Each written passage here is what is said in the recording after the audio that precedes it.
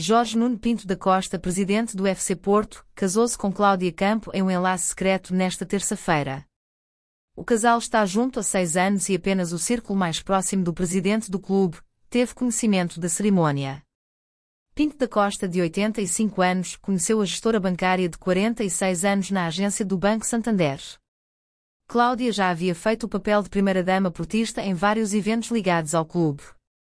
O casal apareceu publicamente pela primeira vez em 2017 no jantar de Natal dos Azuis e Brancos. Este é o quinto casamento de Pinto da Costa. Ele foi casado com Manuela Carmona em 1964, com Filomena, duas vezes em 1998 e 2007. Com Fernanda Miranda em 2012.